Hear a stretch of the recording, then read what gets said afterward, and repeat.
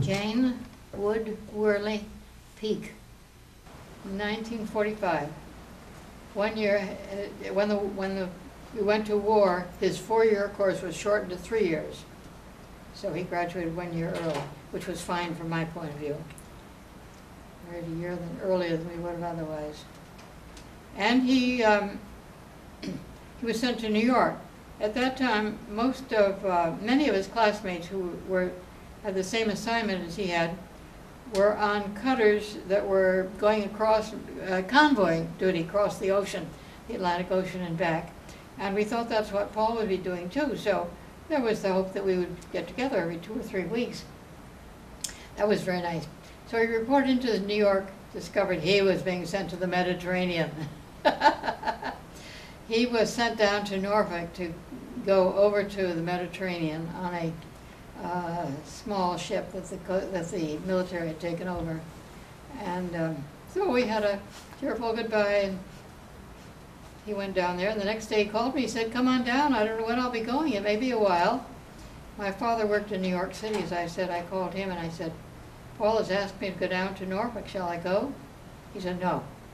He had a war to win, he was doing his best, he worked for the rubber company, he was working so hard, had to travel all over the country, and he was so tired of young brides taking up spaces on, on, um, on the trains that he needed. I went anyway. Sat up all night, got down there the next day. He met me at the train, took me to the hotel. There was only one hotel in uh, Charleston, South Carolina it was. only one, one hotel in Charleston then. He got me settled there, and then he had to go back to the base, go to his ship. His ship had come back from the Mediterranean, was in the shipyard to be updated for duty in the Pacific. The war in Japan was still going on. So um,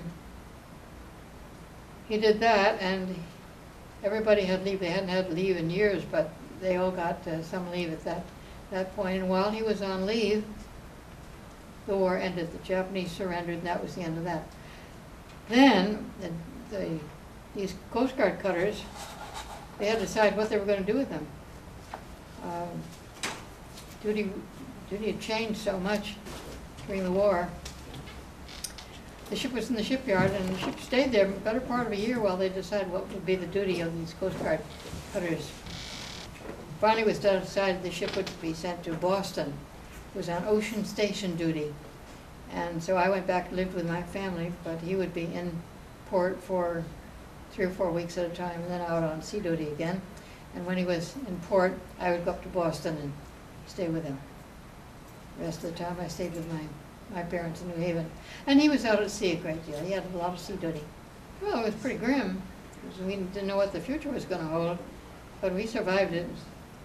Well, are we going to get any meat tomorrow? Will our, I forgot what we called them, our little things that we had to buy food and meat with. We don't have any this week. We're not going to have any meat for Sunday. That everything was going to the, to the military, to the armed forces. If we civilians starved, that was tough. Well, you had, you were permitted uh, so many units, I can't remember what it was called. You could spend those the way you wanted, or what you could find in the grocery store, in, in the meat market.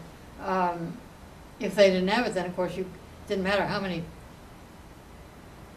ration points you had, you couldn't, couldn't buy them if they didn't have it. Um, You hoped that you could get a fairly reasonable, reasonable diet in the long run. We didn't starve, and we knew that everything, so many things that we didn't have were being sent to the service people, and they needed them a lot more than we did. And ships were being sunk, ships uh, off the east coast were sunk every day, and all those people dying. It was horrible.